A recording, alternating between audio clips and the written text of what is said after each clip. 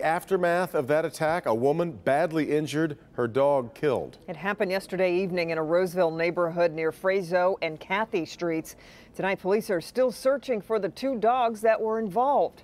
Jason Colthorp is in Roseville. And Jason, you spoke to a man who jumped in to help.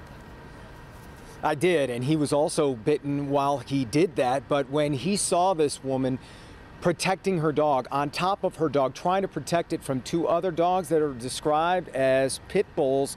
He didn't hesitate to jump into action. We want to warn you there is video of this that is disturbing to listen to, which is why we're using it very sparingly.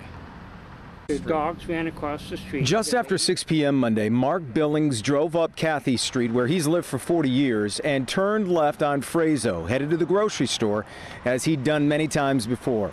But this time, he stopped his pickup suddenly. She was actually laying on top of the dog, screaming and helping, saying, Help me, help my dog. A 45 year old woman was walking her puppy, a 10 month old beagle named Bella, when two dogs, described as a large pit bull and a smaller pit, raced across the street and attacked.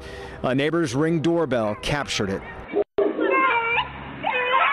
I just started beating the dog with the breaker bar. I was just swinging just to try eh, to try to break it from hanging on to this poor dog.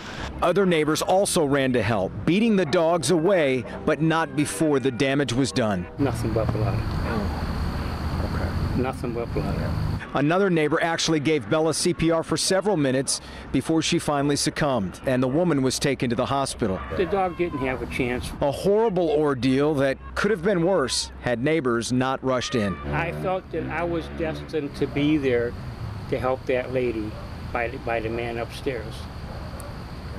I, I had a reason to go to Kroger's, and he had a reason for me to be there to help that lady. Now let me run down the injuries on this. The dog's owner did go to the hospital. She's expected to be okay, but bad bites on her legs. Another neighbor suffered some bites, as did Billings on his leg. Uh, they're expected to be okay, but Billings has already had one rabies shot, and he'll have to get more until these dogs are found. Kimberly. Well, where are the dogs? Uh, any sort of leads on finding them? Yes, a lot of people in the neighborhood feel like they had an idea, and I'm told the Macomb County Animal Control has a good lead on this.